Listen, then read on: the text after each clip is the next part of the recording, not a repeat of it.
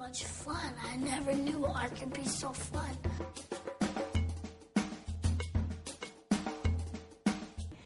Developing self esteem is vital.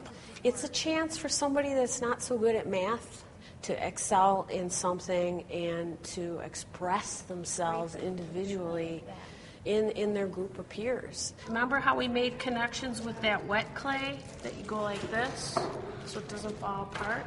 I had this one student this year. I could tell that he was extremely creative, but he just could not focus.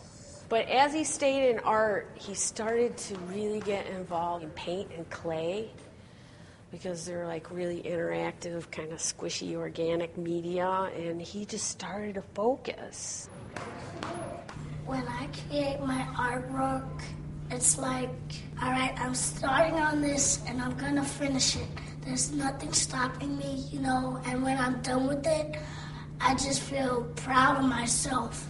And now that I've created this, I really want to show it to the world.